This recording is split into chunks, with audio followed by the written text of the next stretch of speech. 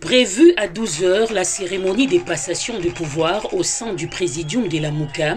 a débuté à 16h, soit avec un grand retard de 4 heures, dû certainement aux profondes divergences de vues qui n'ont pas pu être harmonisées, même en dernière minute, entre les camps du coordonnateur sortant Adolphe Mouzito et celui de l'entrant Martin Fayoulou. Pour autant, en bon légaliste, Adolphe Mouzito, quoique absent de Kinshasa, a tenu à respecter les délais en remettant les flambeaux de la coordination de la MOUCA à son successeur Martin Fayoulou, dont l'espoir que les angles seront arrondis lors des prochaines discussions. La passation se fera sans communiqué final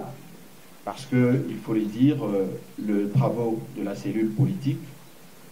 n'ont pas apporté une conclusion. Il y a eu une divergence entre euh, membres au niveau de la cellule politique, ce qui fait que vous n'allez pas euh, bénéficier du communiqué final du présidium à ces jours. Donc voilà, c'est sur fond de ces divergences au niveau de la cellule que nous allons justement devoir passer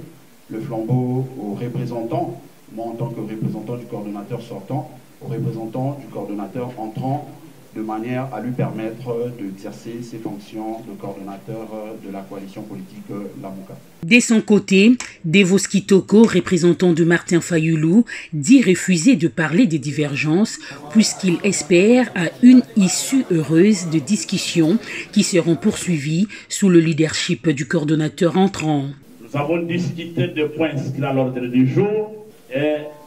nous n'avons pas fini les discussions en fonction du principe de continuité des services. Nous allons poursuivre les discussions au sein de la cellule politique sous le mandat des nouveaux,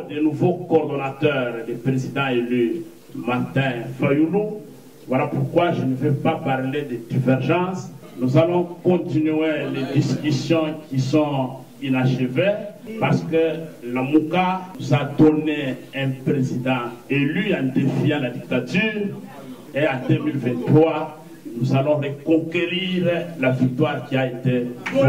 Compte tenu de ce qui précède, les deux partis reconnaissent n'avoir pas abouti aux conclusions de leurs travaux et discussions au sein de la cellule politique, preuve des profondes divergences persistantes qu'il faudra à tout prix harmoniser pour la bonne marche de la MOUCA en tant qu'une véritable plateforme politique de résistance.